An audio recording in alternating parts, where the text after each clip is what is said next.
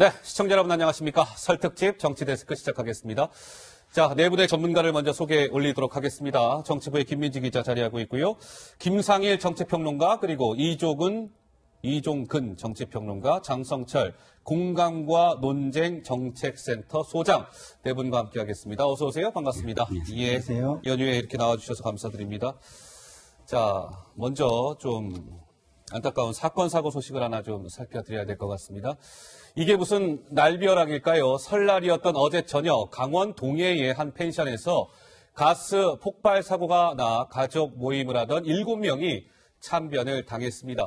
현장에 취재 기자가 나가 있습니다. 신선미 기자 나가 있습니까? 네, 나와 있습니다. 예, 예. 자, 어제 이 사고가 난 게 어제 저녁 8시가 좀 안 된 시간이었습니까? 네, 사고가 난 건 어제 저녁 7시 46분쯤입니다.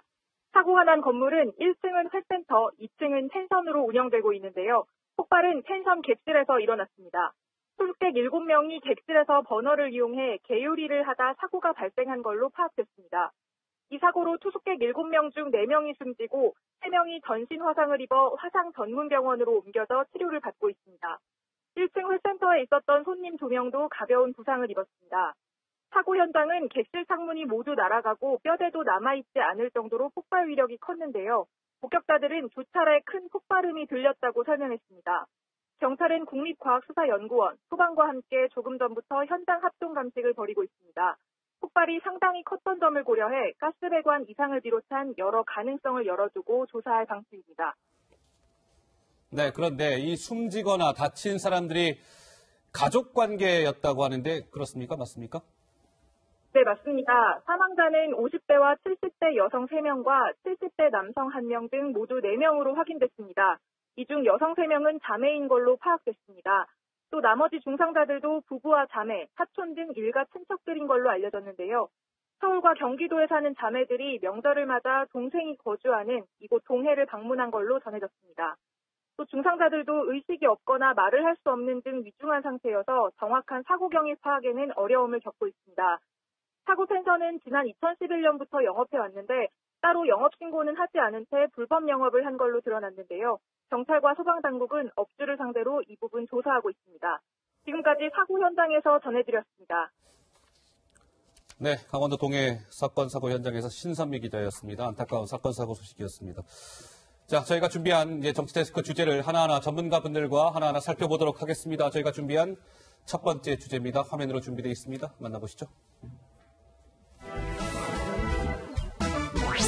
네, 꼼수 보고 논란이 일었습니다. 먼저 어, 이성윤 서울중앙지검장 지난 13일에 아마 중앙지검장에 취임했을 텐데요. 당시 취임사 목소리가 준비되어 있습니다. 먼저 듣고요. 하나하나 살펴드리도록 하죠. 만나보시죠. 국민들의 인권을 보호하기 위해 절제된 검찰권 행사가 필요합니다. 수사의 단계별 과정 과정마다 한 번 더 생각하고 절제와 자제를 거듭하는 검찰권 행사가 필요합니다. 민생과 관련된 검찰 본연의 임무에 역량을 집중해야 합니다.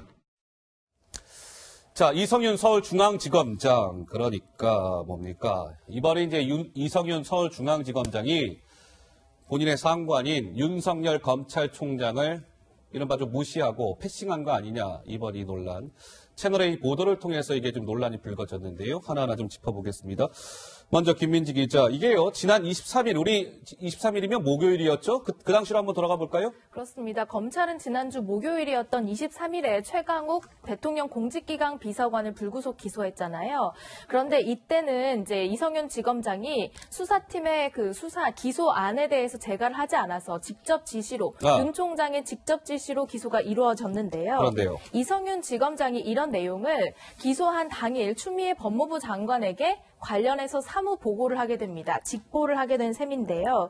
원래 검찰 사무 규칙 제2조에 보면 검사장은 사무 보고를 할 때 상급 검찰청 그러니까 여기에서는 서울 고검이나 대검이 될 텐데 상급 검찰청의 장과 법무장관에게 동시 보고해야 한다고 되어 있습니다. 그런데요? 그렇지만 23일에는 아. 추미애 장관에게만 하고 아. 윤석열 검찰총장에게는 하지 않았다가 윤 총장에게는 다음 날인 24일 밤 10시 반에 보고를 하게 됨으로써 뭔가 패싱한 것 아니냐는 논란이 불거졌습니다. 그래서 그렇군요. 자, 그럼 보시죠. 이게 어떻게 됐냐면 설 전날 밤에요. 그러니까 윤석열에 보고한 이성윤 서울중앙지검장 아니냐 이런 겁니다. 23일 날 김 기자 설명대로 추미애 장관에게 이제 사무 보고가 되고 24일 날 당시 이번 이 논란의 시초가 우리 채널A 단독 보도로 이제 시작이 된 건데 그 보도가 24일 저녁 한 7시 40분경에 보도가 나왔어요. 채널A 윤석열 패신 단독 보도. 그리고 나서 24일 밤 10시 반에서야 어, 이성윤 지검장이 윤석열 총장에게 사무 보고를 했다는 것이죠. 검찰 사무 규칙에 따르면 추미애 장관 보고와 윤석열 총장 보고가 동시에 들어갔어야 되는데 무려 하루 이상 늦게 보고가 들어갔다는 거예요. 보도 이후에 논란이 되니까 부랴부랴 이성윤 지검장이 윤석열 총장한테 보고한 거 아닙니까? 꼼수 보고 아닙니까? 이런 것인데 우리 장 수장은 어떻게 보세요? 꼼수 보고죠. 꼼수 보고입니까? 네. 아하. 만약에 채널A 보도가 안 나갔으면 예. 과연 이성윤 지검장이 윤석열 총장이나 음. 서울 고검에 보고를 했겠습니까? 음. 우리 보도를 보고 야 이거는 검찰. 사무 규칙을 내가 위반한 게 아니냐. 예. 지금이라도 수습해 봐야 되겠다. 음. 그렇게 판단해서 뒤늦게 꼼수 보고한 것으로 생각됩니다. 만약에 채널A 보도가 없었으면 이성윤 지검장이 윤 총장한테 보고했겠느냐 이런 의문도 든다. 그렇죠. 왜냐하면 변명을 어. 보면 어. 아니 뭐 윤석열 총장은 네. 원래 이 사실 잘 아니까 음. 우리가 뭐 보도 안 해도 된 보고를 안 해도 된다 그렇게 생각했다라고 나중에 변명을 하지 않았습니까? 예, 예. 그런데 고검에는 왜 보고 안 했냐라고 음. 하니까 그거에 대해서는 별다른 해명을 하- 해놓지 않고 있어요. 아하. 그런 거 보면 예. 이것은 꼼수 보고다 그렇게 생각됩니다. 아니요, 이제 하다 하다 못해 윤석열 총장의 허리까지 부러뜨리는 거 아닙니까? 라는 목소리가 나왔습니다. 이번 논란과 관련해서 새로운 보수당 논평을 이렇게 냈습니다.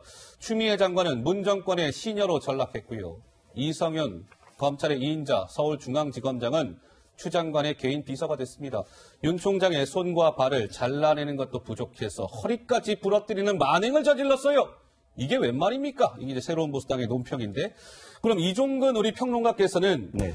이 이성윤 지검장이 동시 보고를 했어야 되는데 추미애 장관한테는 먼저 하고 하루 늦게 윤 총장한테 뒤늦게 보고했다는 거예요. 네네. 이성윤 지검장이 이 보수당 새 보수당 얘기대로 추 장관의 개인 비서로 전락한 겁니까 어떻습니까? 자, 이제 법조계에서 이것을 어떻게 바라보나를 제가 예. 좀 취재를 해봤습니다. 도대체 이런 상황이 됐을 때 이성윤 어, 지금 중앙지검장의 행동에 대해서 법조계는 어떻게 생각하느냐? 어떻게 생각하고 있을 수? 없다는 얘기예요. 있을 수 없다? 네. 그 지금 그. 이성윤 어, 지검장은 이렇게 설명을 하고 있습니다. 음. 지금 1장 2조 어, 1장 2조에 동시에 해야 된다고는 되지만, 그러나 예외 사항이 있다. 특별 사유가 있는 때에는 장관 보고 후에 어, 검찰 자- 각그 검찰청장에 보고해도 된다, 뭐 될 수 있다 이렇게 돼 있는 것을 들고서 윤 어, 검찰총장은 이미 알고 있는 상황 아니냐. 그래서 음. 이제 특별한 어떤 상황이라고 할 수가 있다라는 그런 지금 뭐 이- 이유를 대고 있습니다. 예, 예. 그런데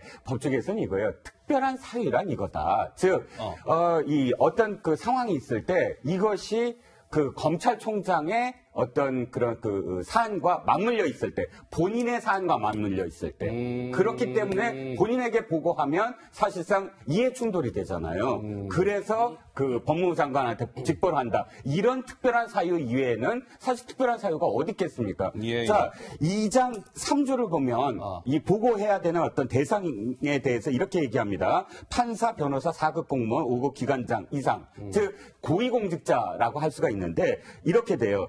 어, 보고는 수리 처분 보고는 수리 또는 처분 시마다 즉시 보고하게 돼 있습니다. 즉시 보고? 어, 즉시 아하. 보고하게 돼 있고 예. 음. 동시 보고하게 돼 있고. 근데 특별한 사유가 있지만 특별한 사유는 해당자일 경우, 음. 그러니까 사안이 해당했을 경우만 사실 해당된다. 이렇게 써져 있지는 않지만 예. 사실은 그렇게 포함되는 건데 음. 알고 있기 때문이 특별한 사유다. 그건 있을 수 없다라는 것입니다. 알겠습니다. 어쨌든 그 서울 그 이성윤 지검장 측에서 내놓은 해명 또한 좀 설득력이 떨어지는 거 아니냐. 이종건 평론가 말씀은 그런 것인데 역시 연장선상에서요. 김민지 기자. 이게요. 서울 고검한테도 그러면 이 이성윤 지검장이 어떻게 보면 추미애 장관 보고할 때 동시 보고가 들어갔어야 되는데 안 했단 말이에요. 그럼 이건 어떻게 되는 겁니까? 그것도 역시 지적 사항 중에 하나입니다. 아까 방금 전에도 말씀하셨지만 이성윤 지검장의 해명은요.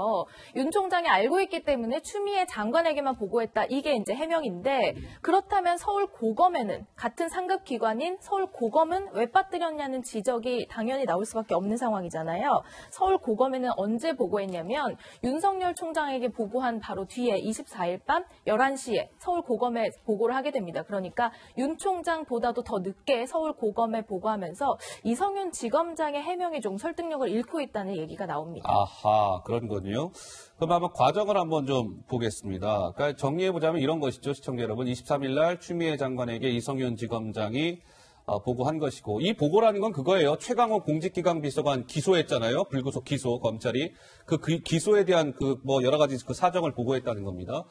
그리고 나서 24일 밤 10시 반에 윤석열 총장한테 보고했고 이성윤 지검장이 그보다 30분 뒤인 24일 밤 10시에 서울 고검에 보고했다는 거예요. 검찰 간부는 아니 윤 총장이 오케이 알았어요. 그럼 내용을 알고 있었으니 사후 보고했다 치더라도 그러면 서울중앙지검보다 상급 기관인 서울 고검에 대한 보고는 23일보다 한참 뒤인 24일 밤 11시에 고검에 보고한 건 도대체 어찌 설명하실 겁니까? 뭐 이런 건데 우리 김평론가 보시기에는 어때? 이성윤 지검장이 큰 실수한 겁니까? 아니 저는 양쪽 다 뭐 이렇게 이걸 크게 싸울 일인지 잘 모르겠어요. 사실은 협조 체계로 돌아가면 이런 거는요, 뭐 사후에 조금 할 수도 있고 뭐 이런 거겠죠. 근데 문제는 왜 이런 일이 일어나느냐 이게 훨씬 큰 문제 아니겠습니까? 이런 일이 왜 일어나는지 무엇을 위해서 이런 일들을 하고 있는 것인지 이게 가장 큰 문제입니다. 그래서 법무부에서는 검찰 개혁을 하겠다. 뭐 이런 것이고요. 그 다음에 그 대검에서는 살아있는 권력에 대한 공정한 수사를 하겠다. 이런 거 아니겠습니까? 예. 그런데 여기에 좀 사가 계속 끼고 있다. 사가 끼고 감정과, 있다? 네, 감정과 음. 사가 끼고 있다. 이런 생각이 예, 들어요. 예, 예. 예 를 들어서 저 공정한 수사가 이루어진다고 대부분의 국민들이 생각하고 있는데 그것을 방해하려고 하는 거 아니냐 라는 의심을 굳이 받는다면 검찰 개혁하고 그게 무슨 상관이 있습니까? 음. 전혀 상관이 없잖아요. 그리고 검찰 개혁은 제도로 하는 거지 개별 사안 하나하나에 어떤 자신의 의견을 주는 것은 아니잖아요. 그것이 검찰 개혁 아니잖아요. 그러니까 그런 측면에서 보면 검찰 개혁이 아닌데 예. 그런 것을 또 맞받아치는 입장에서도 굳이 또 그러면은 뭐 어, 최강욱 그 비서관의 지금 기소가 그렇게 중요한 일인가요? 저거는 대부분 조국 그 전 장관을 기소했을 때 다 들어가 있는 상황이고요. 거기와 연동돼서 그것이 진행이 되면 그 적당한 시점에 또 기소를 할 수 있는 타이밍을 좀 잡을 수도 있는 거라고 저는 봐요. 예, 예. 그러니까 제가 보면은 양쪽 다 이게 국민을 생각하는 마음이 있는 건지 음. 마치 국민들이 보면 힘 있는 자들이 무슨 자기들 감정을 앞세워서 무슨 다툼을 하는 듯한 느낌 그리고 자기들하고는 뭐 전혀 알겠습니다. 상관이 없는 듯한 느낌 예. 이런 느낌을 받는 거죠. 예. 자, 장 소장관 말씀하시겠어요? 그러니까 뭐 예. 싸우는 게 우리 김상현 평론가 얘기처럼 국민들이 이해가 안 되는 거예요. 음. 윤석열 총장은 박근혜 전 대통령이 임명했고 추미애 법무부 장관은 문재인 대통령이 임명한 거 아니잖아요. 음. 다 문재인 대통령이 다 임명한 사람들인데 저런 규칙과 뭐 법률 가지고 싸우는 거 이해가 안 되고요.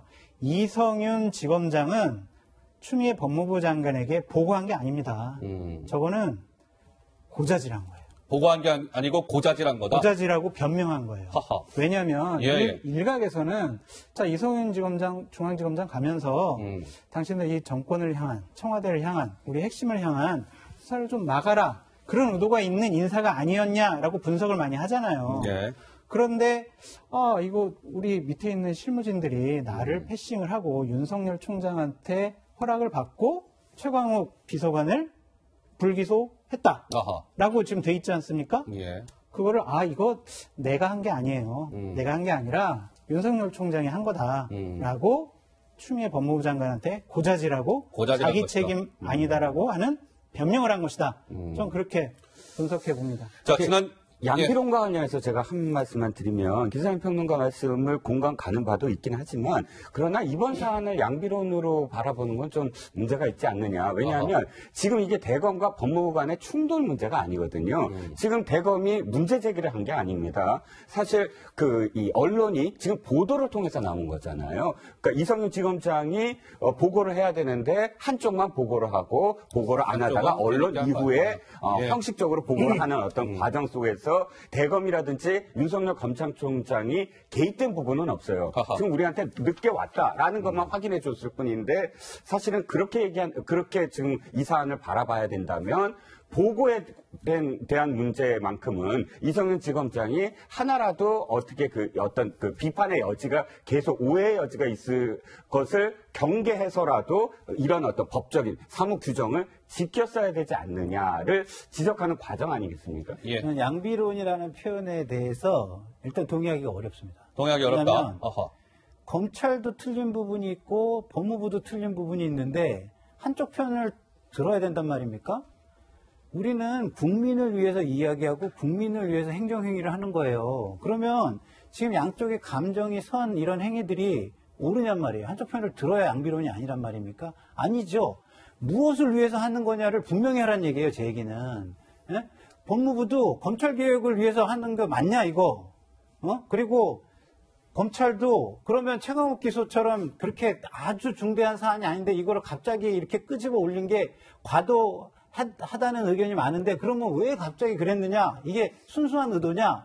저는 이걸 국민들한테 다 얘기하라는 얘기입니다. 왜 이게 어떻게 양비론이 됩니까? 알겠습니다. 자, 이쯤 하죠. 예, 아마 시청자 여러분들도 다 이 방송 들으시면서 아마 아하 그런 거구나 판단들을 좀 하셨을 것 같고 자 이런 것 같습니다. 그렇다면 추미애 법무부 장관이 윤석열 검찰총장의 이른바 감찰 카드를 만지작거리고 있다. 뭐 이런 얘기가 나온다는데 김 기자 이 부분을 한번 우리 좀 살펴봅시다. 그렇습니다. 일단 그 전에요. 법무부와 검찰 간의 신경전이 지금 대단합니다. 최강욱 비서관의 기소 여부를 놓고 신경전이 개, 그, 뭐 계속되고 있는데요. 야. 일단 추미애 장관은 날치기 기소다. 날치기 기소. 중앙지검장을 건너뛴 날치기 감찰할 것이다 라고 했고요. 윤석열 총장은 그렇다면 특검을 합시다. 오히려 중앙지검장이 내 지시를 어기고 항명을 한 것이다 라는 말을 주고받으면서 지금 신경전이 대단한데요. 기소 가 이루어졌던 23일 밤 사이에도 법무부와 대검에서 연이어 입장문을 내면서 신경전을 벌인 바 있습니다. 아유, 뭐 추석 연휴 전날 난리가 났었어요. 이른바 막 저 최강욱 기소가 저 비서관 기소하니까 법무부가 날치기 기소라고 입장 내니까 조금 있다가 또 대검이 아, 이 무슨 무슨 얘기입니까? 이거 적법하게 기소한 건데 뭐 법무부가 지금 이상한 소리 하고 있어요. 또 이런 반박 입장문이 나오고 추석 연휴 직전이었던 목요일 날 굉장히 좀 분주했었는데요. 한번 보시면 이런 것 같아요. 일전에 한번 윤석열 검찰총장이 항명했다라고 하면서 그 문자 메시지 한번 포착된 적이 있었잖아요. 그렇죠? 문자 메시지가 한번 포착이 된 적이 있었는데 이게 그 연장선상에서 우리 그 장 소장께서 보시기에는 이 감찰 카드 만지작이라고 하는데 윤석열 검찰총장을 추미애 장관이 직접 감찰을 할 수 있는 겁니까? 어떻게 감찰합니까? 아, 못합니까? 잘못을 하지 않았는데 어떻게 감찰합니까? 아, 예. 날치기 보고를 한 이성윤 중앙지검장을 감찰해야지 검찰청법에 분명히 이 수사와 관련된 기소와 관련된 최종 결정권자는 검찰총장이라 나와 있습니다. 업무상 무엇을 잘못했는데 감찰을 하느냐 그러한 의문을 제기할 수밖에 없고요. 예. 결국엔 이런 감찰 카드를 꺼낸 것은 윤석열 당신 마음에 안 들어. 음. 더 이상 우리 정권에 대한 수사하지 말고 당신 좀 그냥 자리 좀 정리해 줬으면 좋겠어. 이런 협박용이 아닌가 그런 생각이 듭니다. 예. 제가 이해가 안 가는 게 그 당시의 감찰 부분을 한번 다시 생각해 볼게요. 이 이낙연 총리, 당시 총리가 전화까지 걸어서 전화한 장면을 이렇게 그 언론 보도 자료를 냈습니다. 사실 장관들한테 지시하는 거는 하루에도 몇 번씩 전화하는데 그렇게 얘기하면 하루에도 몇 번씩 보도 자료를 냈었어야 됐는데 그것만 콕 집어서 어, 임기가 10일도 안 남은 이낙연 총리가 지시를 했습니다. 아, 감찰에 대해서 예. 어, 지시를 했고요. 장관이 어, 이 위원회에 나와서 어, 감찰할 것이다 라고 어, 얘기했습니다. 그런데 유야무야 됐어요. 결과적으로는 대통령이 신년 기자회견에서 이렇게 정리를 합니다. 아, 그, 그 부분과 관련해서는 사실 그 전에 관리가 제대로 되어 있지 않았으므로 예. 이제부터 제대로 하면 된다. 그래서 윤석열 어, 총장에 대해서 감찰이라든지 이런 것들에 대해서 사실은 완전히 그런 부분과 관련해서 앞으로 뭐 하면 된다는 식으로 정리를 해, 하, 셔서 끝났어요. 그런데 문제는 이겁니다. 대통령이 하기 전에 공식적으로 총리가 지시하고 법무부 장관이 얘기한 부분과 관련해서는 어떻게 됐느냐는 거예요. 음. 없어요. 예, 예. 실제로 언론에 그렇게 이야기하고 전화까지 했다면 아 이건 이러이렇게 해서 감찰 지시를 회수했다든지라는 공식적인 어떤 반응이 없이 대통령이 그냥 아무 죄 없다라고 정리해 버렸어요. 음. 이런 과정을 지켜보면서 국민들은 이렇게 생각할 수밖에 없어요. 아 이건? 완전히 압력이구나. 아하, 어? 예. 그렇게 그 언론에 일부러 노출시키고 어? 보도 총리는 보도 자료를 노출시키고 그 다음에 어, 법무부 장관은 이 문자를 노출시키는 그런 알겠습니다. 것 속에서 압박을 한 게 아니냐. 근데 지금도 역시 압박이다라고 여겨질 수밖에 없는 예, 거예요. 압박으로 느껴질 수밖에 없다. 예. 저는요, 이게 참 안 좋은 선례 같아요. 안 좋은 선례다. 왜냐하면 이게 법은 모든 거의 최소잖아요. 도덕, 윤리, 질서, 정치 모든 것이 최소예요. 굉장히 간명해야 되거든요. 근데 그 법에 있어서 그한그 기소와 공소라는 검찰 사무를 담당하는 검찰을 개혁하겠다고 해요. 과거에 문제가 있었는데. 그럼 뭘 개혁하겠다는 겁니까? 첫 번째, 권력에 줄 서는 거 개혁하겠다는 거예요. 예. 그죠? 근데 이 사인이 검사들한테는 어떻게 읽히겠습니까? 일단. 그 많은 검사들한테 물어보면 이, 이거는 아 그러면 권력에 줄 서라는 거 아니냐 이렇게 읽힐 가능성이 상당히 높은 오히려 거예요. 정권에 줄 이게. 서야 된다라는 네, 메시지를 네. 읽힌다. 그러니까 예. 검찰 개혁하고 이게 그러면 맞, 이게 맞는 건가, 음. 결을 같이 하는 건가, 이런 생각이 저는 들고요.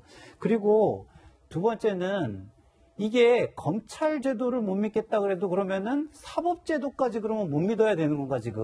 음. 법원이라는 심판이 있습니다. 그렇죠. 예. 그러면 일선 검사가 기소를 했으면 법원의 심판을 받으면 되는 거예요, 사실은. 음. 이거를 옳다 그렇다를 수사가 진행되는 상황에서 힘이 있다고 해가지고서 의견을 개진하기 시작을 하면은 그럼 앞으로는 이게 독립성의 부분도 굉장히 훼손이 되고 개혁의 부분도 이게 진정한 개혁이 되겠느냐? 왜? 음.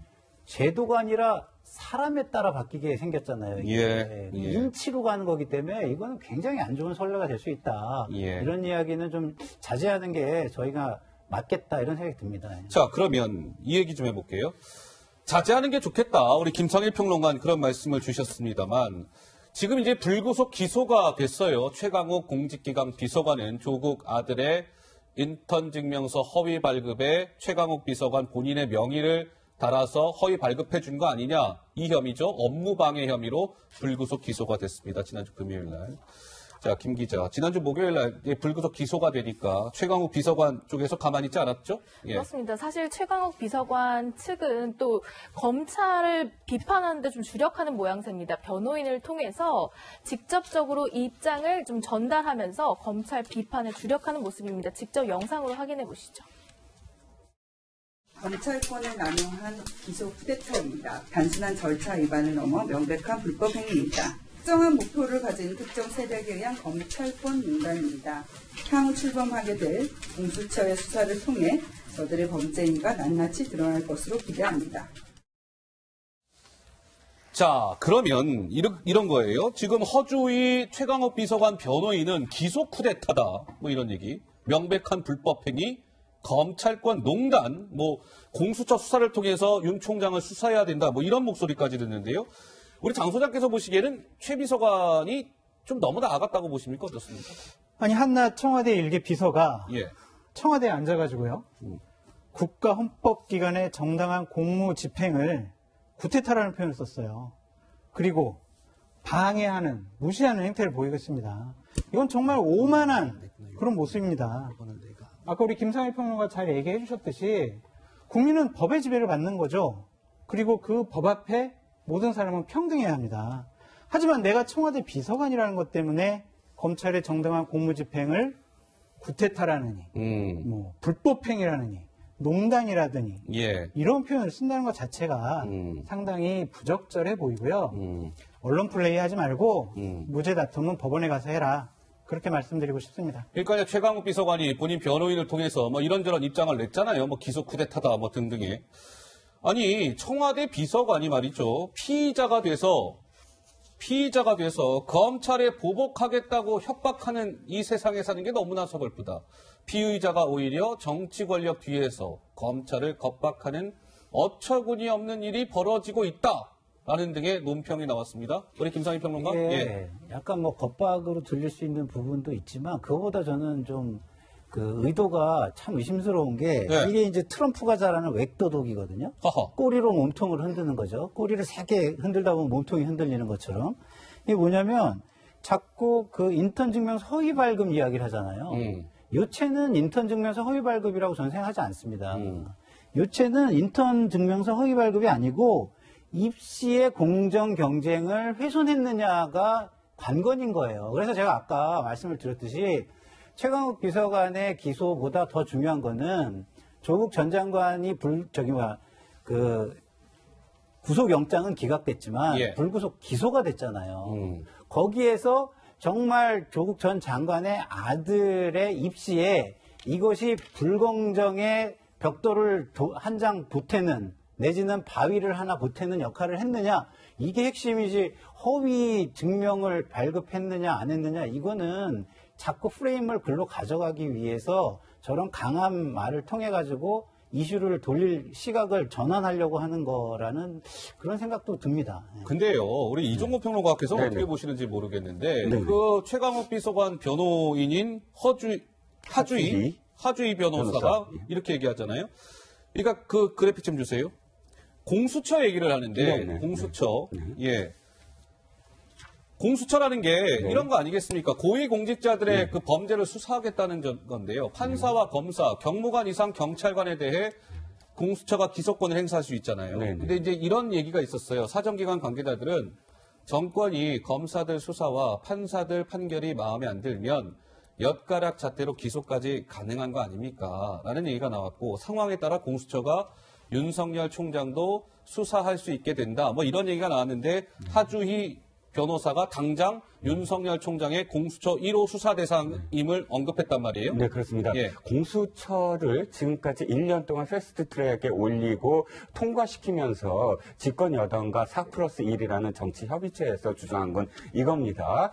드디어 고위 공직자들의 수사를 제대로 할 수가 있- 있게 됐다라는 것이었습니다. 즉, 그러니까 뭐 대통령을 포함해서 뭐그 이 판사, 검사, 뭐 경무관급 이상의 경찰 지금까지 제대로 수사를 어떤 일이 있을 때 수사를 못 해왔는데 이렇게 권력에 대해서 기득권에 대해서 수사를 할 수 있다라는 것이 1년 동안의 항변이었고 또 어, 이 통과된 이후에 어떤 이유였습니다. 그런데 예. 지금 청와대 비서관의 변호사, 즉 청와대 비서관이라는 사람이 변호사를 통해서 한 말은 공수처에서 이 사건을 수사 하겠다, 해야 된다라는 건데 이해가 안 가는 건 이겁니다. 그건 어떤 이 사건의 수사는 뭐냐면 어떤 의미에서는 조국 전 장관에 대한 수사예요. 아하. 연장선이라고 지금 스스로도 얘기하고 있으니까. 예. 그리고 본인에 대한 수사입니다. 즉 조국 전 장관은 어떤 사람입니까? 대통령의 최측근이었어요. 즉 대통령의 최측근을 수사하고 또 대통령이 아끼는 그러니까 마음의 빚을 갖고 있는 채, 채무자들이라고 얘기하는 그 사람들에 대한 수사를 하면 공수처를 통해서 또 역으로 수사할 수 있다라고 지금 이야기하고 있는 것 아닙니까? 그렇다면 야당이 지금까지 1년 동안 걱정한 문제가 뭐였냐면 공수처를 통해서 지금 이 살아있는 권력에 대한 수사를 지금 방해하려는 게 아니냐 이런 걱정을 했는데 예. 그 걱정이 그대로 현실화되고, 현실화되고 있다. 음. 현실화되었다라고 할 수밖에 없는 거죠. 자, 최강욱 비서관의 그 출석 요구서를 두고 이게 무슨 뭐 피의자용이냐 참고인 신분용이냐 말들이 많았어요. 최강욱 비서관 쪽에서는 이건 피의자용이 아니었다. 뭐 참고인 소환 조사용이었다. 뭐 이런 주장을 했는데 김 기자 우리가 좀 비교해서 볼까요? 그렇습니다. 최강욱 비서관이요 억울하다라고 하면서 이제 공개한 그 출석 요구서가 있습니다. 여기에 보면요 최강욱 비서관 측에서는 피의자라는 말이 없고 피의자에 부여하는 뭐 형제 번호도 없다 이렇게 했는데 이런 두 가지 내용도 나와 있습니다. 보면 출석 요구에 응하지 않으면 체포될 수 있다는 내용이 하나 들어가 있고요. 밑에는 변호인의 조력을 받을 권리가 있으면 등등등의 어떤 미란다 원칙도 고시가 되어 있습니다. 그래서 피의자 소환 통보로 해석되는 게 맞다라는 게 법조계 해석인데 예. 참고인 출석 요구서는 저렇게 따로 있습니다. 오른쪽 편에 보시면 어. 참고인 출석 요구서라고 되어 있죠. 이거는 실제로 참고인들이 받는 그런 출석 요구서라서 최 비서관이 받은 것과는 좀 차이가 있습니다. 예.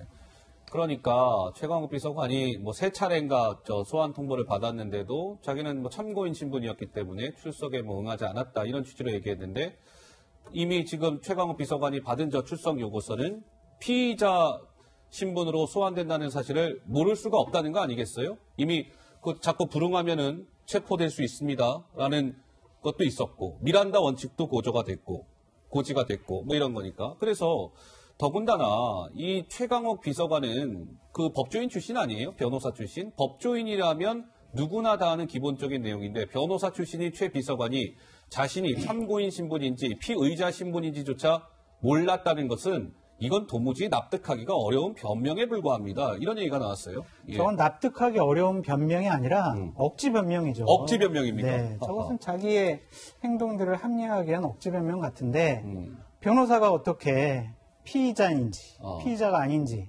참고인인지 아닌지 이런 걸 모를 수가 있습니까? 음. 말도 안 되는 얘기를 하고 있고요. 저분의 말을 믿을 수가 없는 게 검찰에서는 조사를 해서 자 우리 조국 아들 이분이 인턴을 했다라는 다른 정황 증거가 없다. 거기서 같이 근무했던 사람들도 그 사람을 본 적이 없다라고 다 증언을 했지 않았느냐라고 음. 얘기를 하니까 밤에 왔다 밤에 하하. 밤에 와가지고 이랬다 예. 이런 식으로 또 변명을 했거든요. 예. 그러니까 저분의 말을 어떻게 믿어야 돼, 어디까지 믿어야 될지 저분이 또 우리 공직기강 비서관 아닙니까? 공직기강 비서관이죠. 공직기강이 저렇게 해이해진 당사자가 아닌가 그런 생각까지 듭니다. 그러니까 지금 최강욱 비서관이 받았다는 출석 요구서에는 아까 김 기자 설명대로 이런 문구들이 지금 있었다는 거 아니에요?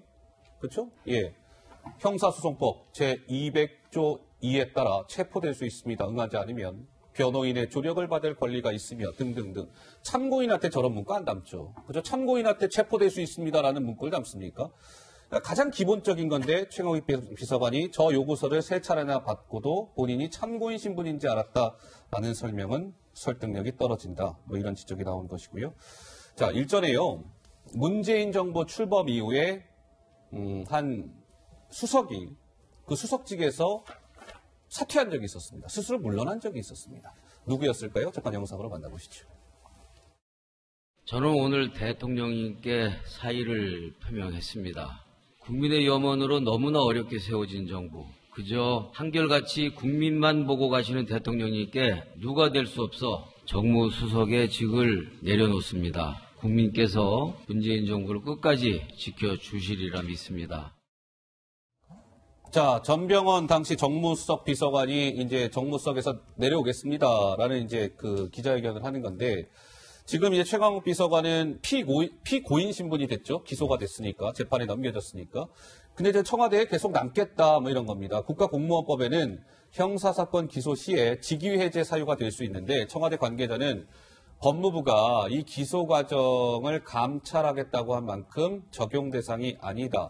조금 전에 목소리 들으셨죠? 2017년 불구속 기소된 전병헌 당시 정무수석은 검찰 소환 전에 자진 사퇴를 했습니다. 그와는 이제 상당히 대조적이다. 피고인 신분인데도 청와대에 계속 남겠다는 청와대의 어떤 방침과 최강욱 비서관의 생각이 과연 옳은 것이냐, 뭐 이런 비판인데 우리 기- 먼저 김상현 예, 예. 평- 저부터 예. 그 말씀을 드리면 사실 달라도 너무 다른다는 거예요. 아하. 당시를 좀 되돌아보면 어, 전병헌 수석이 어, 이건 사실 검찰이 무리한 수사를 한다라고 이렇게 그 이 발표를 했어요. 그런데 청와대에서는 바로 그걸 어떻게 얘기했냐면 아 그건 개인적인 의견이다.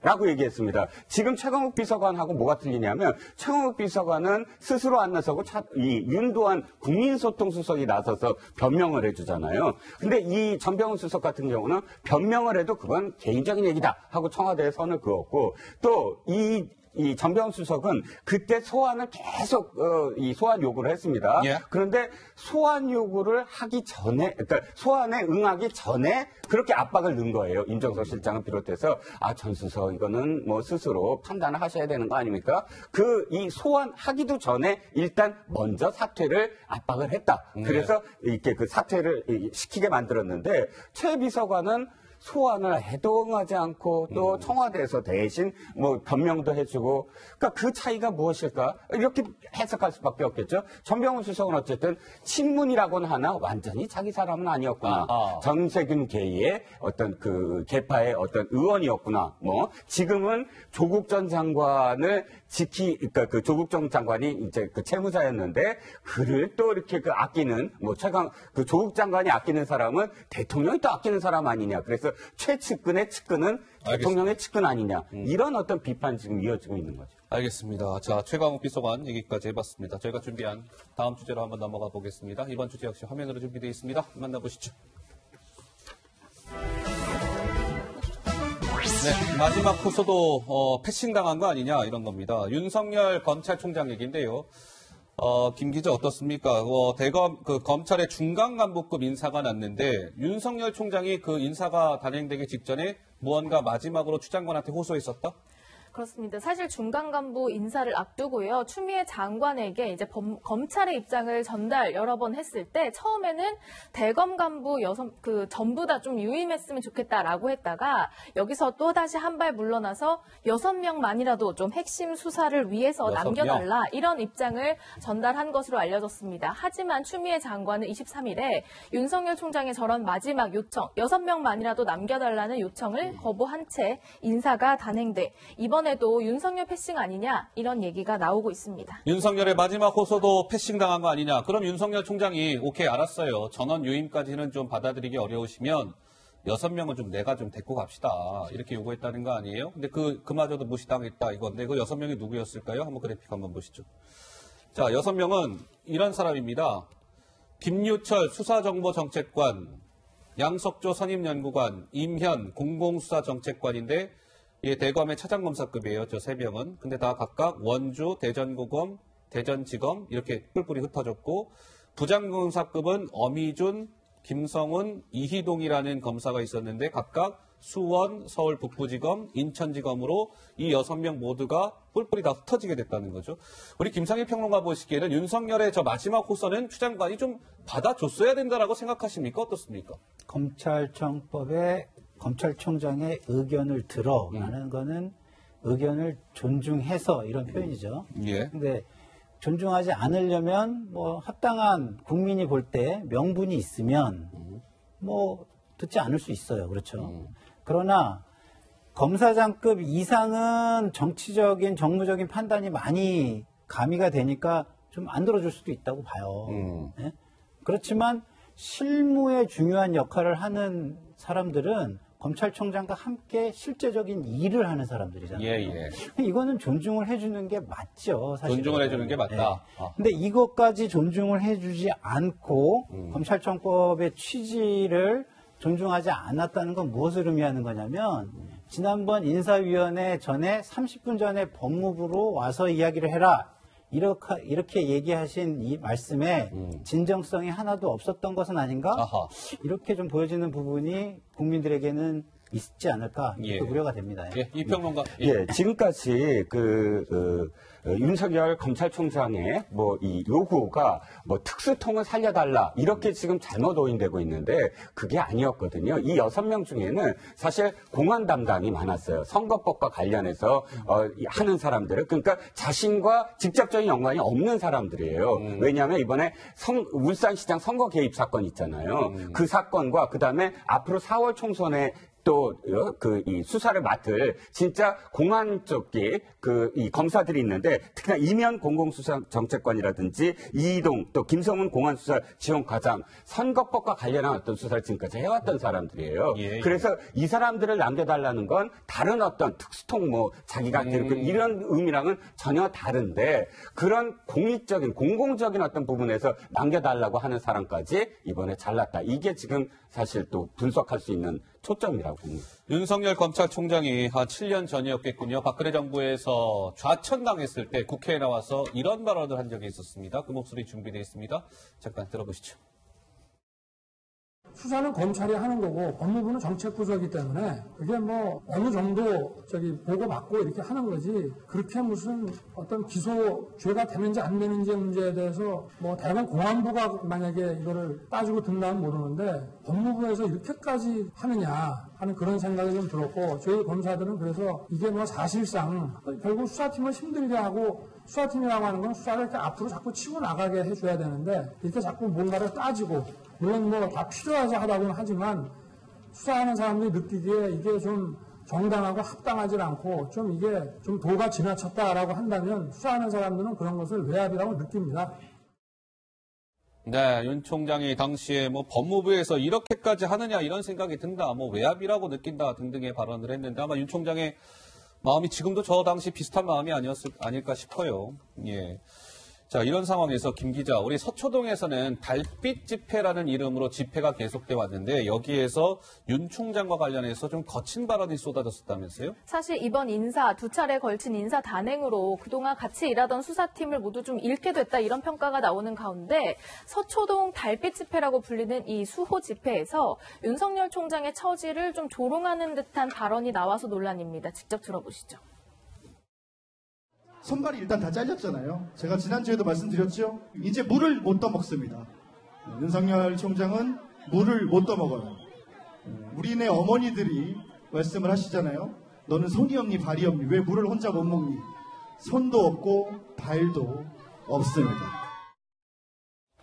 네, 뭐 손도 없고 발도 없습니다. 윤석열 총장은 물을 못 떠먹어요 등등의 발언. 그런데 실제로 또 윤석열 총장이 추미애 측근에 갇힌 것 아니냐 이런 얘기가 나옵니다. 먼저 당장 이성윤 서울중앙지검장 같은 경우는 최강욱 기소를 계속 좀 차일피일 미뤄왔던 거 아니냐 이런 의혹을 좀 받아왔었죠. 뭐 결국 지난주 목요일 날 불구속 기소가 되기는 했으나 심재철 부장 같은 경우는 조국 무혐의를 주장했다가 좀 논란을 빚은 바 있는 어, 대검의 부장이고 고기영 서울 동부지검장은 지금 유재수 감찰무마 건과 관련해서 백원우 전 민정비서관의 기소를 또 차일피일 미루면서 문개기하고 있는 것 아니냐 이런 의혹.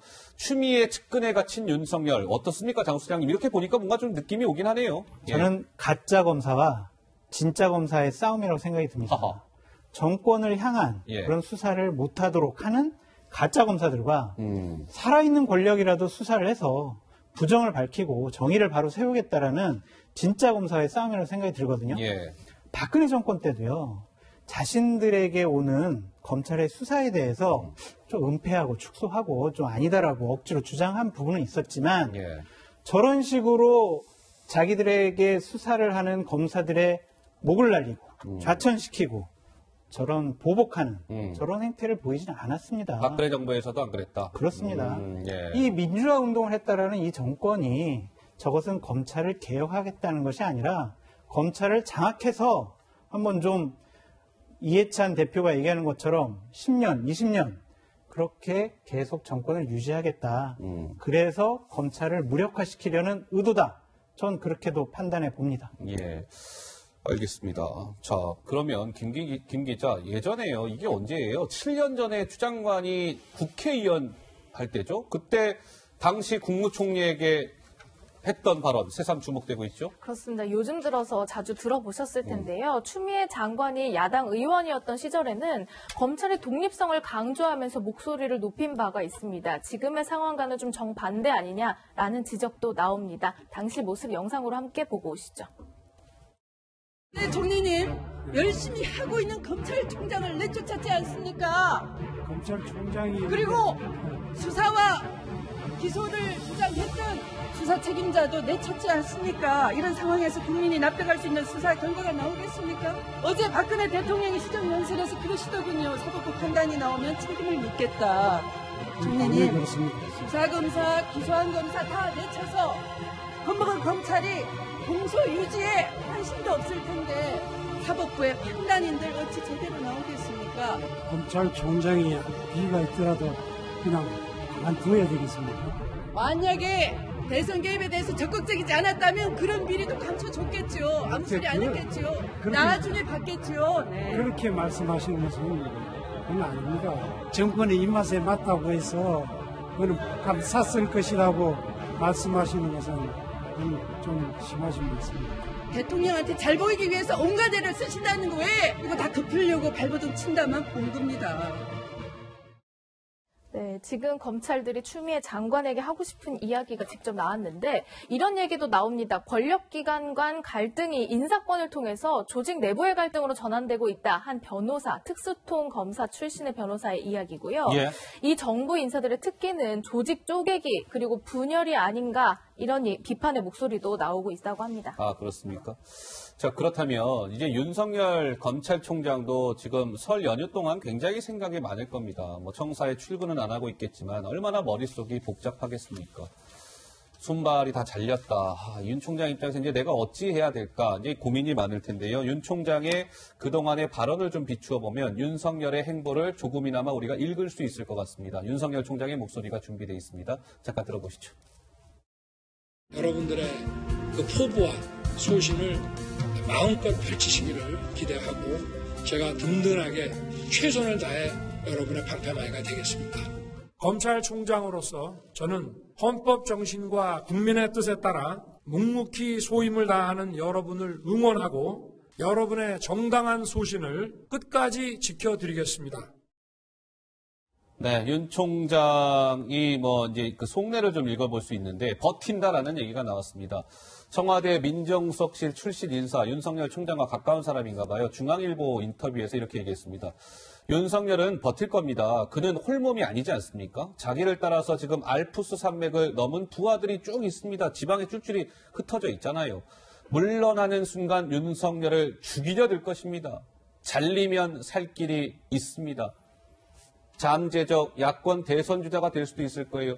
스스로 물러나면 윤석열을 죽이려 들 것이에요. 오히려 근데 이 정권으로부터 잘리면 윤석열은 오히려 살 길이 있을 겁니다. 뭐 야권 대선 주자까지 될 수도 있을 거예요. 이런 얘기인데 우리 김평론가 보시기에는 윤석열은 끝까지 간다고 보시게 보세요 어떻습니까? 예, 저는 끝까지 간다고. 내년 저는 7월까지 임기 다 봅니다. 채운다. 예, 예. 저는 그렇게 봅니다. 근데 지금 저 이야기들이 정치적으로 굉장히 좀 약간 이렇게 수준이 있는 분들이 이 얘기를 하는 거예요. 어. 제가 봐도 정치권에 오래 있었지만 계속 이런 식으로 해서 만약에 잘린다 순교자가 될 수 있습니다. 잘못하면. 그러니까 예. 그리고 이 항상 그 다- 차기 대선 주자는요. 음. 현 정권의 가장 보완적이거나 약점을 어, 약점에 해당하는 그 그것에 반대되는 그 사람이 되거든요. 음. 근데 자 보세요. 그 부분이 지금 시대 정신하고 맞닿아 있어요. 아하. 지금의 시대 정신이 뭡니까? 공감, 공쟁, 공정, 공, 공존과 공생 이런 거 아닙니까? 음. 그러면 지금 윤석열 검찰총장이 하고 있는 것들이 그 시대 정신과도 어쩌면은 많은 정치인들 중에서 가장 맞닿아 있기도 합니다. 음. 그렇기 때문에 저 야권, 뭐 야권 아닐 수도 있다고 저는 봐요. 예, 예. 여당 내 야권이 될 수도 있어요. 예? 그런 순교자가 되면은 정말로 대선 주자로 부상할지도 모르겠다. 음. 그렇기 때문에 지금 여권에서 너무 감정적으로 좀 아까 이제 뭐 장성철 소장님이 뭐 의도가 있다 이랬는데 저는 의도가 있을까? 그건 아직 모르겠어요. 근데 음. 분명한 거는 감정이 앞서는 거는 분명한 것 같다. 그래서 좀 음. 저는 저희 진영이 좀 약간 자중했으면 좋겠다. 이 말씀을 좀 꼭 드리고 싶어요. 나중했으면 좋겠다. 예, 알겠습니다. 글쎄 윤석열 검찰총장 이제 뭐 화요일 날 정식적으로 출근을 하겠군요. 연휴 지나고 과연 뭐 어떤 메시지를 내놓을지도 좀 많은 사람들이 좀 관심을 갖고 지켜보고 있는 대목이기도 합니다. 물론 뭐 메시지가 안 나올 수도 있겠습니다만 한번 지켜보도록 하고요. 자 진중권 교수 얘기 좀 잠깐 해볼까요? 김 기자, 진 교수가 이번에는 누구를 겨냥했다고요? 정경심 교수를 직접 겨냥했습니다. 왜 올해 1월 1일에 정경심 교수의 옥중 편지가 하나 공개된 아이고야, 바가 있어요. 뭐예요? 지지자들에게 답장을 보낸 게 이제 일부 지지자들이 SNS에 올리면서 이제 아. 퍼지게 된 그런 내용인데 아이고야. 일부 내용에는 뭐 제가 이곳에 있게 된 유일한 이유는 사법 개혁이다라는 취지로 뭐 얘기해서 논란이 되기도 했습니다. 그런데 진 교수가요 이 편지 내용을 SNS에 어제 올리면서 세상에 이런 편지도 썼었나요? 이렇게 뻔뻔하게 나오시면 이분이 어떤 분인지 안 쓸 수가 없다. 일단 설은 지나고 보자라고 하면서 설 이후에 정경심 교수에 대해서 뭔가 폭로하는 것 아니냐 이런 좀 궁금증을 자아낸 SNS를 올렸습니다. 야 그래요? 어, 설은 지나고 봅시다. 굉장히 뭔가 뼈 있는 한마디를 남겼습니다. 네. 예. 정경심 교수 같은 경우에는 한 12가지 범죄 혐의로 기소됐고 구속돼 있죠. 예. 조국 교수 같은 경우도 11가지 범죄 혐의로 지금 재판을 앞두고 있습니다. 음. 그렇습니다. 그런 분들이 저렇게 뻔뻔한 검찰 개혁을 얘기한다는 것 자체가 너무 뻔뻔하고 음. 국민들의 분노 게이지를 더 높이는 그러한 편지다. 그런 생각이 듭니다.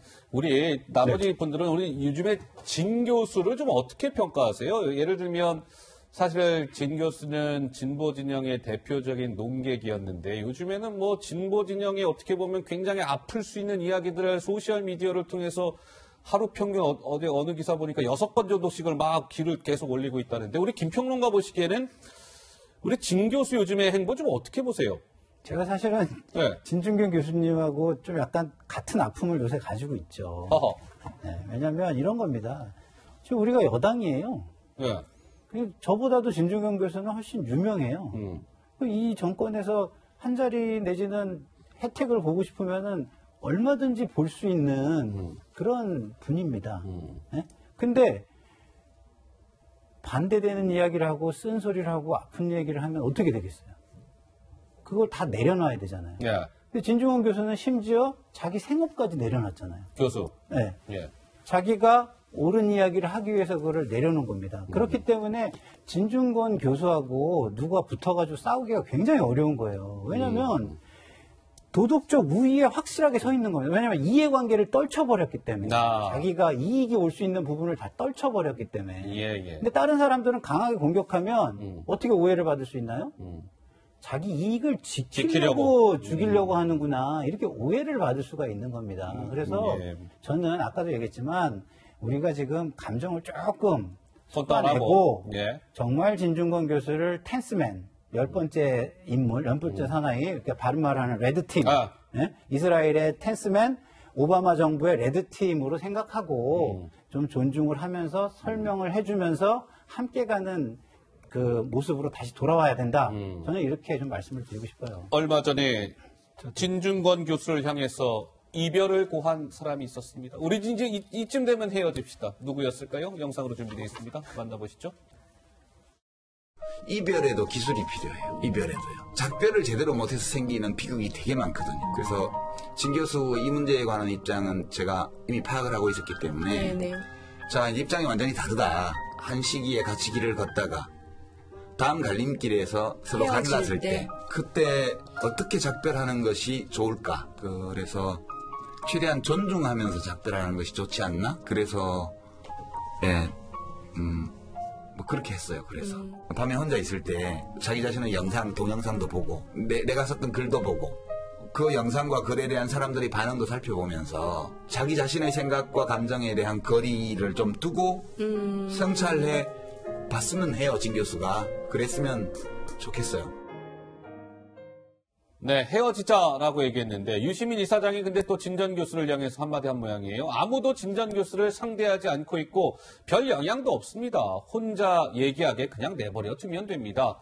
진중권 교수도 가만히 있지 않았죠. 거짓말을 가지고도 참 사람을 설득해내는 능력을 가지고 있어요. 유시민 이사장은 그것도 재능입니다. 타고났습니다. 나를 상대 안 하는 것이 아니라 그냥 상대 못하는 것이라고 솔직히 말하시오 라고 얘기했는데 이종근 평론가 뭐 하- 하실 말씀 있으시다고요? 네. 지금 진중권 교수와 또 유시민 이사장의 이런 논쟁들이 가속화될수록 사실 우파에 점점 점점 불리해지는 상황이 될 겁니다. 예. 왜 그러냐면 자 지난번 세종시와 관련해서 이명박 대통령이 세종시를 원점으로 돌리려고 했을 때 박근혜 의원이 반대를 했어요. 음. 근데 이 이슈가 어떻게 됐죠? 박근혜 의원과 이명박 대통령의 부딪힘이 됐어요. 그래서 이 세종시 이 이슈가 쭉 지속이 되면서 민주당은 완전히 이 이슈에서 소외돼 버렸어요. 음, 자, 다시 이쪽으로 돌아오면 조국과 관련된 이슈가 사실 이쪽 좌파와 우파의 어떤 대결 양상, 논리의 대결 양상이 됐다가 지난번에 어, 모 방송국의 100분 토론에서 어떻게 됐죠? 이 진보 인사 4명만 출연시켜서 1대 3의 진중권 교수와 나머지 세 사람의 토론이 돼버렸습니다. 즉, 이쪽, 저, 보수 쪽 인사는 제외됐어요. 아, 예, 그러니까 예. 이 이슈가 지속될수록 사실 이렇게 부딪힐수록 중도는 음. 이쪽 우파 쪽을 찍지 않고 또 다른 진보 또는 진중권 어, 교수가 주장하거나 혹은 또 다른 진보 또는 중도를 뽑지. 그러니까 진중권 교수가 시장 하나를 지금 우파 쪽으로 갈 표를 예, 음. 이쪽 중도 쪽으로 가는 그런 형국을 만들고 있지 않느냐. 그러니까 이걸 박수를 칠 게 아니라 우파에서는 이 이슈를 아하. 끌고 갈 논객이 필요하다는 거예요. 진중권이 아닌 보수의 뭔가 사람이 필요하다. 네. 예, 알겠습니다. 자, 진중권 교수에 이어서 저희가 준비한 다음 주제로 한번 넘어가 보겠습니다. 이번 주제 역시 화면으로 준비되어 있습니다. 만나보시죠. 자, 이낙연 이름 옆에는 동그라미, 황교안 대표 옆에는 세모라고 되어 있어요. 무슨 얘기가 하실 텐데, 김 기자, 동그라미 세모가 의미하는 바가 있죠? 바로 저 동그라미 세모의 주인공인 종로 출마 여부입니다. 이낙연 전 총리는 말씀하신 대로 종로 출마에 대해서 이미 선언을 한 바 있고요. 황교안 대표는 당에 도움이 되는 쪽으로 판단하겠다라고 하면서 아직은 파- 그 출마 여부를 속 시원히 밝히지 않고 있습니다. 두 사람의 목소리가 준비되어 있습니다. 서울 종로 출마를 제안받았습니다. 저는 이 대표님의 제안을 엄숙하게 받아들입니다. 그 영광과 책임을 기꺼이 떠안겠습니다. 신사적인 경쟁을 한번 펼쳤으면 하는 기대를 가지고 있습니다. 이낙연 전 총리가 종로 자, 그 정도, 내 지금 늦었어요. 너무 늦었어. 뭐, 여러 번 내가 말씀드린 것처럼 무엇이 당에게 가장 도움이 될 것인가 하는 그런 관점에서 판단하겠습니다. 아직 조금 시간이 남아 있는데, 자, 이낙연 총리 같은 경우는 종로 출마를 뭐 사실상 지금 뭐 기정사실화 했죠. 황교안 대표와 경쟁을 펼치자. 근데 황교안 대표는 당에 도움이 되는 쪽으로 결정하겠습니다라고 하면서 아직 명쾌하게 종로 출마를 딱 선언하진 않았어요. 우리 장 소장 보시기에는 어때요? 우리 장 소장께서 또 이 선거 전문가시니까 황교안 대표 결국에는 종로 출마할 거라고 보십니까? 아니면 딴 데로 갈 거라고요? 할 거라고 보여지고요. 아, 종로 출마할 거라고 보세요? 해야 된다고 보여집니다. 아하. 왜냐하면 지금 피하면 예. 불리하다는 것을 자인하는 꼴입니다. 어. 피하면 패배주의에 우리가 휩싸여 있다는 것을 자인하는 꼴이에요. 어허. 선거가 이제 붙으려면 서로 예. 이제 기싸움도 하고 서로 이제 승리해야 된다고 막 의욕을 불태워야 되는데 음.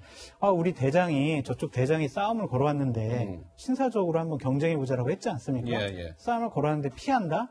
이것은 선거전 들어가면서부터 사기를 꺾어놓는 행위입니다. 어. 그리고 또한 국민들의 입장에서도 예. 이낙연, 황교안 종로에서 맞붙으면 얼마나 또 이번 선거가 재밌겠습니까? 예. 또한 정권 심판론을 갖고 황교안 대표가 음. 이번 선거를 치르겠다고 하는데 그것의 가장 적임자가 이낙연 후보 아니겠습니까? 음. 명분, 실리 이런 걸 다 보더라도 출마해야 된다고 보고요. 예. 설령 진다고 해도 지는 게 아니다. 전 그렇게 말씀드리고 싶습니다. 진다고 해도 지는 거 아니다라는 말씀은 지는 건 지는 거 아닙니까? 남는 게 있는 거죠. 어떤 게 남습니까? 나는 정권에 그리고 여당에 네. 전력을 투입해서 그 도와줬던 이낙연을 상대로 어. 나는 이만큼 선전했다. 음. 라는 것을 또 보여줄 수가 있거든요. 예, 그렇기 예. 때문에 피하는 것보다는 맞붙어서 이겨내고 극복하고 음. 그러는 것이 더 좋다. 그렇게 보여집니다. 혹시 우리 나머지 우리 분 중에 종로가 아닌 다른 길을 황교안 대표가 선택할 것 같다라고 생각하시는 분은 혹시 없으신가요?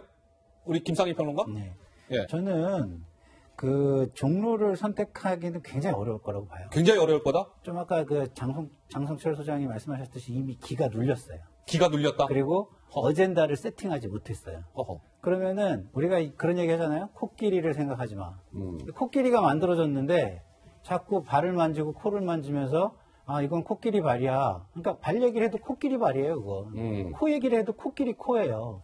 그러면 황교안 대표는요 자기 어젠다를 세팅하는 게 훨씬 중요합니다. 어. 지역보다. 지역보다. 그러니까 정권 심판론에 하- 뭐 이낙연 총리가 굉장히 좋은 그 경쟁자라고 얘기하는데 그렇지 않을 수 있어요. 훨씬 더 상징적인 인물이 있을 수 있습니다. 음. 그래서 임종석 실장이 나온다.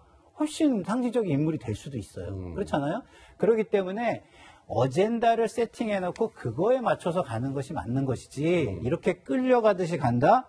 그거는 초보의 모습이고 근데 끌려가듯이 가는 것도 또 흔쾌하게 못 간다? 그건 또 세모의 모습이에요. 음. 그러니까 초보와 세모의 모습을 보여주면 예. 이 선거는 망하는 거고요. 어. 저는 자유한국당의 어. 희망은요, 지금은 공천심사위원회, 김영호 공천심사위원회에 저는 있다고 생각을 하고요. 예. 민주당의 희망은 저런 황교안 모습의 초보 세모 모습과 어. TK 친박 실세들의 기득권의 그, 그, 뭐랄까, 끝까지 매달리는, 어. 벼랑, 벼랑에서 손을 안 놓고 매달리는 것처럼 처절하게 매달리는 그 모습이 민주당의 희망이 될 거라고 저는 봅니다. 예. 우리, 우리 이종훈 평론가는 어떻게 네, 보세요? 이낙연 전 총리의 그, 이 뭐랄까, 동기어진이라고 하죠. 잡고 안 놔주겠다라는 전략에 어.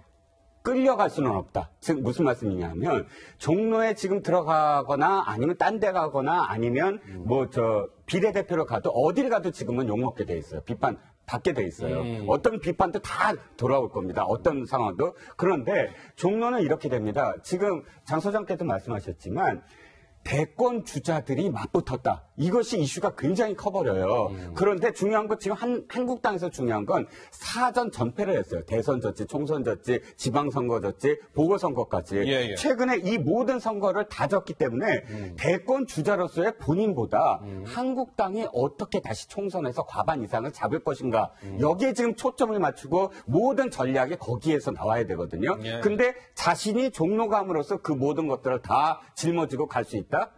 그게 아니라 거꾸로 종로에서의 두 대선 후보가 한다는 것을 그러니까 맞붙었다는 것으로 모든 언론이 다 다른 지역, 다른 벨트 이것들을 전부 안 돌아보고 여기만 집중하게 돼버립니다. 그러니까 이슈를 다 끌어안고 그냥 묻혀버리는 거죠. 그래서 어, 지금은 비판을 받더라도 끌려갈 수는 없다. 자기가 이슈를 끌고 가야 된다. 지금 종로로 가는 건 끌려가는 것이다라고 예. 보여집니다. 예, 장 소장. 예. 2002년도에 노무현 대통령하고 이회창 한나라당 그 후보랑 대선에서 붙었잖아요. 그 전에 이제 98년도에 종로에서 붙을 기회가 있었어요. 예. 그때 재보궐선거가 열렸었는데 노무현 전 대통령은 출마를 강력하게 주장을 해서 출마를 했고요. 음. 이회창 당시 한나라당 대표는 음. 측근들이 말렸어요. 아, 여기에 출마해서 자칫 지면 지면 안 된다. 다음번 대선 가기에도 음. 여러 가지 힘들고 예, 예. 그러니까 좀 안정적인 곳으로 가라. 음. 그래서 송파 갑으로 갔거든요. 음. 거기서부터 2002년도에 싸움이 진 겁니다. 아하. 이분들은 황교안, 이낙연 이분들은 예. 총선 배지가 중요한 게 아니잖아요. 대권이죠. 대권입니다. 2년 예. 후에 벌어질 대권인데 예. 그거에 전초전에서부터 지고 들어간다? 기싸움에서 밀린다? 이것은 다음번 대선을 치러보나 만한 일이 돼버립니다. 황 대표는 뭐 묻지도 말고 따지지도 말고 일단 종로로 가야 된다. 지더라도. 맞습니다. 네. 예, 장 소장. 예. 그거를 만약에 분석 방식을 그렇게 하신다면은 그렇게 분석할 수도 있겠죠. 근데 이해창 전 그 후보의 패배가 아들의 병역 문제라든가 여러 가지 문제에 황교안 대표처럼 세모의 모습을 보였다. 이걸로 분석한다면 저는 그, 그거보다는 이종근 평론가의 말씀에 조금 더 동의하는 거예요. 왜냐하면 자기가 어젠다를 세팅을 해야 돼요. 프레임을 구성을 해야 됩니다. 남의 전쟁터에 들어가서 이기기는요, 굉장히 어렵다. 어려운 겁니다. 음, 알겠습니다. 자, 황교안 대표에 이어서 김 기자, 음, 얼마 전에 왜 한뭐 1년 이상 외국에 나갔다가 들어온 정치인 얘기 좀 해봅시다. 네, 안철수 전 국민의당 대표, 안철수 전 의원 얘기인데요. 1년 4개월 정도를 외국에서 유학 생활하다가 공항을 통해서 이제 귀국하면서 화려하게 복귀 신고식을 했습니다. 그 모습 먼저 보고 오시죠.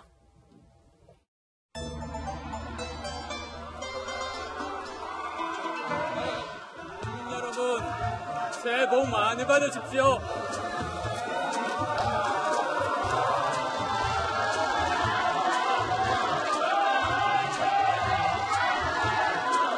존경하는 국민 여러분, 그동안 안녕하셨습니까? 안철수입니다.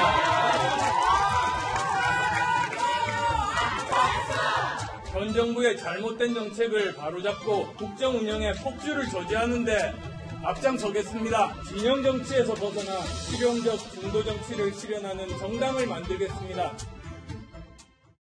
네, 큰 절도 하고 지지자들과 많이 만나면서 저렇게 화려하게 복귀를 했지만 그 이후에는 좀 반응이 냉랭하다 이런 겁니다. 어느 설문조사에서요 안철수 전 대표가 귀국하면서 이제 복귀하는 것에 대해서 어떻게 생각하느냐 했더니 아. 70.6%가 기대되지 않는다는 답변을 한 겁니다. 기대된다는 답변은 24.3%밖에 안 나왔는데요. 그동안 안철수 전 대표가 많이 뭐 바쁘게 행보를 펼치는 와중에서도 무엇을 누구와 어떻게 하겠다는 뚜렷한 뭐 것을 밝히지 않아서 그렇다는 해석도 나오고 있습니다. 안 전 대표 입장에서는 참 이 아픈 여론조사 결과가 아닐까 싶은데요. 어쨌든 70.6%가 기대되지 않는다. 우리 뭐 어, 우리 안 전 대표에 대해서 누가 좀 충고의 말씀을 한 말씀 주시겠습니까? 아니, 제가 아까 외부에서 정치권으로 들어왔을 때의 초보의 모습을 너무 보여주는 거를 황교안 대표를 제가 비판을 좀 했잖아요.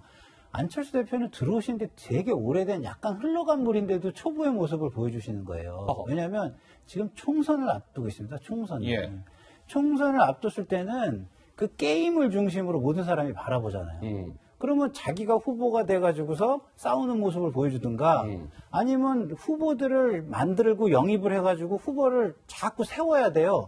그 인물을 중심으로 어젠다를 세팅을 하고 프레임을 구성을 해야 되는 겁니다. 예, 예. 그래야 거기에 선거 결과가 자기의 그 주장의 실현으로 나타나는. 거 아니겠습니까? 예, 예. 되게 아쉬운 게 제가 얼마 전에 김경률 위원장 만났잖아요. 참여연대.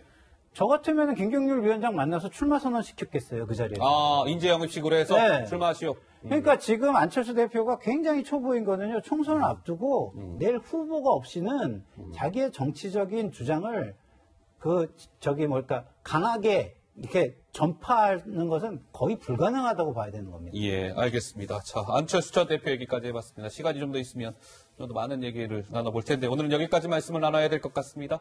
저는 60초 1분 후에 다시 돌아오도록 하겠습니다. 네, 설 특집 정치데스크 오늘 준비한 소식은 여기까지입니다. 함께 해 주신 여러분 대단히 감사합니다. 남은 설 연휴 건강하게 행복하게 잘들 보내시기 바랍니다. 저는 화요일 오후에 다시 찾아뵙도록 하겠습니다. 물러가겠습니다. 고맙습니다.